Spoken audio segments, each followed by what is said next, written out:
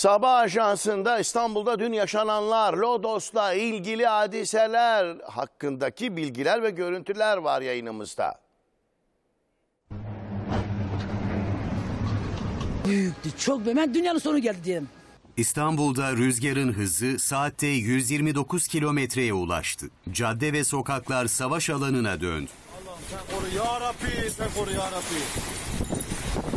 İlk görüntüler Esenyurt'tan. Fırtına nedeniyle bir binanın çatısı yoldan geçenlerin üzerine düştü. Çatı parçalarının altında kalan anne Elif Şanver hayatını kaybederken üzerine kapanarak koruduğu çocuğuysa yaralandı. İstanbul'da fırtına devam ediyor ki özellikle de olumsuzlukların yaşandığı adreslerden biri de Esenyurt oldu ve Esenyurt'ta 7 katlı binanın çatısı uçtu ve çatının uçtuğu o dakikalarda tam da bu noktada geçmekte olan bir anne ve çocuğunun üzerine çatı parçaları düştü ve çatının uçtuğunu gören anne çocuğun üzerine kapandı, çocuk yaralandı ama ne yazık ki anne ise hayatını kaybetti. İlçede çok sayıda binanın çatısı uçtu, onlarca ağaç devrildi. Şiddetli rüzgara sokakta yakalananlarsa büyük korku yaşadı. Lodos'un vurduğu bir diğer adresi Sultan Gazi'ydi. 72 yaşındaki Huriye Pulur oturduğu binanın çatısını oğluyla birlikte onarırken fırtınanın etkisiyle karşı binadan kopan kalas parçasının başına isabet etmesi sonucu hayatını kaybetti.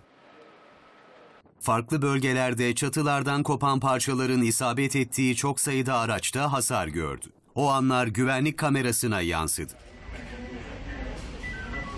Bağcılar'da site içindeki kafenin çatısı şiddetli rüzgar nedeniyle tamamen uçtu. İki kişi yaralandı, altı araç hasar gördü. Çatının uçtuğu o dakikalarda aslında büyük bir facianın eşiğinden dönüldü. Çünkü normal şartlarda çatının uçtuğu o kaldırım noktası ve o caddede çok sayıda vatandaş geçiyor. Ve çatının uçtuğu o dakikalarda ise hiç kimsenin olmaması büyük bir facianın da önüne geçmiş oldu. Benzer görüntüler Çatalca ve Arnavutköy'de de vardı. Biz de gideceğiz ha. Biz de gideceğiz ha. Biz de git abi git. İki tırla bir kamyonet rüzgarın şiddetiyle devrildi. Sürücüler kazayı hafif sıyrıklarla atlattı. Çatalca'da ise saat kulesi Lodos'a dayanamayıp yola devrilerek parçalandı. Küçükçekmece, Arnavutköy ve Başakşehir'de ise binaların çatılarından kopan metal parçalar yola savrularak çevredeki araçlara zarar verdi. Çatılar düşüyor şu an. Başakşehir'de bir restoranın kapalı bölümündeki tente ve tabelalar uçtu. Yolda yürüyen bir genç ölümden kıl payı kurtuldu. O anlar kameralara yansıdı.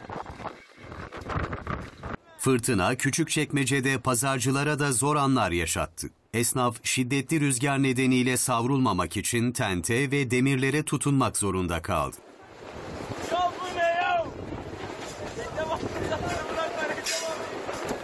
Fırtına avcılarda da etkili oldu. Lodos nedeniyle bir binanın çatısı uçarak parçaları yola döküldü. Çatının uçtuğu anları caddede bulunanlar film seyreder gibi izledi.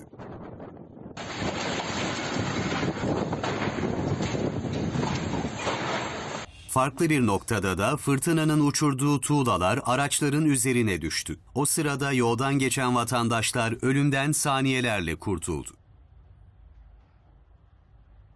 Ambarlı limanında da konteynerler tırın üstüne devrildi. Fırtına deniz ulaşımını da durdurdu. Teleferik, şehir hatları, hızlı arabalı vapur ve deniz otobüsü seferleri iptal edilirken İstanbul Boğazı çift yönlü olarak gemi trafiğine kapatıldı. Maltepe açıklarında da Ayıs bir isimli yük gemisi Lodos nedeniyle sürüklenerek karaya oturdu. Bölgeye kurtarma römorkörleri sevk edildi. 15 Temmuz Şehitler Köprüsü'nde fırtına nedeniyle motosiklet sürücüleri zor durumda kaldı. İki otobüs şoförü motosiklet sürücülerini araya alarak köprüyü geçirdi.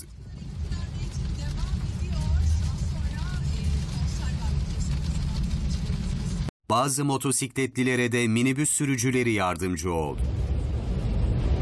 Meteoroloji İstanbul'da fırtınanın etkisinin öğlene kadar süreceğini açıkladı. Vatandaşlara zorunlu olmadıkça dışarı çıkmayın uyarısında bulundu.